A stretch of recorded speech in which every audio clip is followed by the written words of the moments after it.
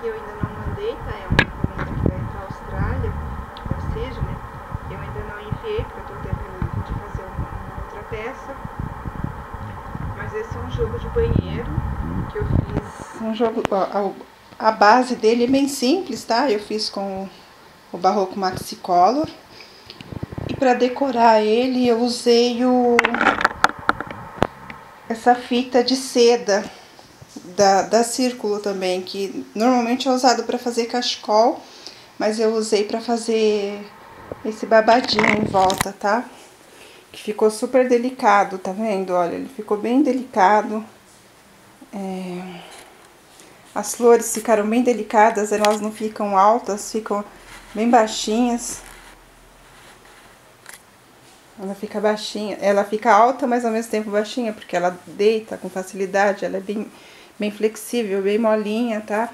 Aí usei umas florzinhas de cetim que eu mesma fiz, um bordadinho com, as, com, com a duna, folhinhas de duna.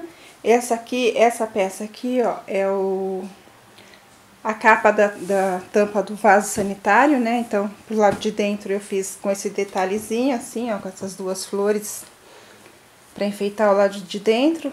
O babadinho onde vai prender a tampa, né? Então, esse seria o lado de dentro. Esse é o tapete maior.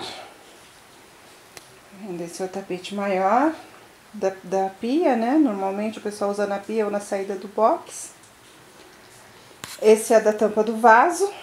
Dá pra perceber, né? Dá pra ver bem que é da tampa do vaso mesmo. Olha. São os detalhes, né? Que dá pra acompanhar. Se você tiver um pouquinho de noção do crochê, né? Dá pra fazer. Souber fazer um...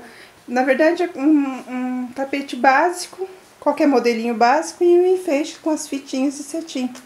Desculpa, com as fitinhas de seda, né? Fita de seda. Ficou bem legal. Tem uma uma saída boa, tem uma aceitação muito boa. Eu gostei do que acabei criando aqui, inventando para aproveitar um pouquinho do material que eu tinha de inverno, que tinha sobrado. Eu tinha comprado muito dessas fitas, acabei aproveitando para fazer um detalhe no joguinho de banheiro. Espero que vocês tenham gostado. Pretendo amanhã trazer o, outro jogo também, que é outra, outra peça que segue para a Austrália. Então eu trago os detalhes para vocês poderem estar acompanhando comigo. Muito obrigado e até o próximo.